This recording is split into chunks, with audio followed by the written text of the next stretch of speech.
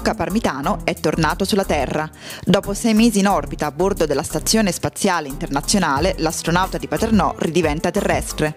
E lo fa con il sorriso e la giovialità che lo hanno accompagnato per tutta la durata della missione Volare, la prima di lunga durata dell'Agenzia Spaziale Italiana. Eppure non è tutto semplice, anzi passare dalle fluttuazioni in assenza di gravità a una camminata a piedi a terra è un passaggio complesso. Lo racconta lui stesso in videoconferenza da Houston, dove ha volato subito dopo l'atterraggio in Kazakistan a bordo della Soyuz. Adesso cammino come se avessi un alto me stesso sulle spalle, spiega per far capire ai cronisti la sensazione di avere una consapevolezza tutta nuova del suo corpo.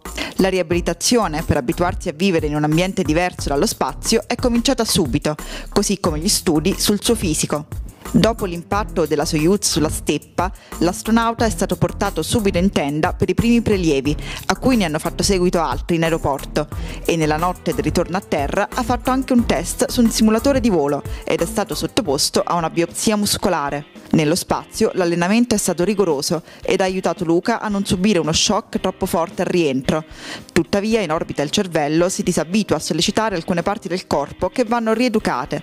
Un esempio è quello dei muscoli che controllano l'equilibrio, che sono molto piccoli e per questo non possono essere allenati. Quella della riabilitazione è una fase molto impegnativa e durerà sei mesi, quanto il periodo di permanenza sulla stazione spaziale.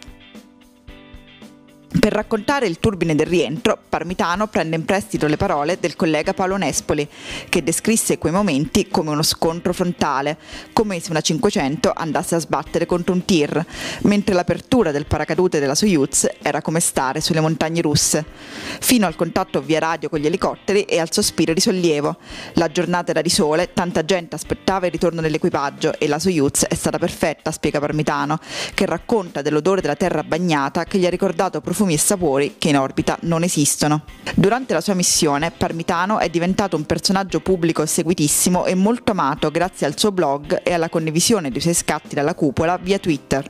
Confessa che gli piacerebbe continuare a condividere il suo privilegio e che la Terra, vista da lontano, lo ha avvicinato a tutti, oltre a sollecitargli qualche riflessione.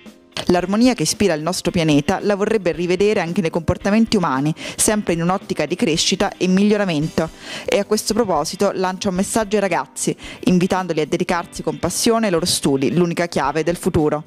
Guardando al mondo che verrà, Parmitano invita ad investire nella tecnologia perché il progresso è una chiave per uscire dalla crisi. Il, il momento di crisi che il mondo sta attraversando, una crisi globale, eh, passerà e il, io credo che Proprio adesso è il momento invece più importante per, per, comprendere che investire nella tecnologia, investire nel nostro futuro è forse uno dei modi migliori per uscire da questa crisi.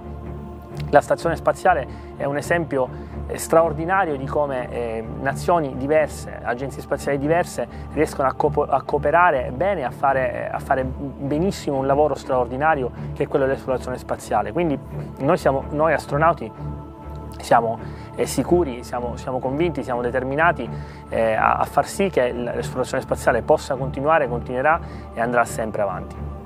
Ma intanto cosa c'è nel futuro di Parmitano? Dopo la riabilitazione ci penseranno ESA, ASI ed Aeronautica, io non mi preoccupo. Ascoltiamo allora qual è l'auspicio del presidente dell'ASI Enrico Saggese.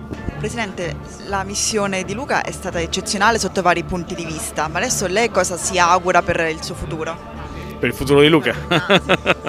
Ma diciamo che Luca, dicevo, per noi è importante avere tanti ambasciatori dello spazio, tante persone che essendo state nello spazio, avendo provato questa avventura, possano in qualche modo portare questa ricchezza eh, loro, eh, nel loro lavoro. Cioè noi, io preferirei avere tanti astronauti che abbiano volato una volta e che tornando nel loro posto di lavoro possano dire qual è l'importanza del volo umano, qual è l'importanza dell'esplorazione, perché dobbiamo arrivare a una reale comprensione di tutta la popolazione italiana, di tutti gli ambienti e capire che i soldi che spendiamo, che sono i soldi dei cittadini italiani, sono spesi bene con, con un vero utilizzo.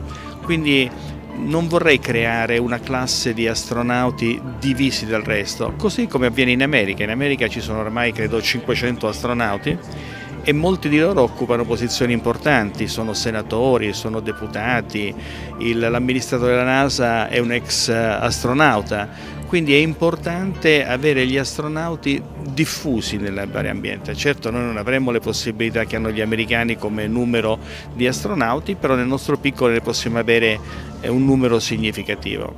Quindi la mia speranza per lui è che lui rientrando in Italia, magari rientrando all'aeronautica militare, facendo carriera, possa arrivare ai massimi livelli della sua carriera ricordando sempre di essere stato nello spazio e spiegando a tutti quanto è bello stare lì.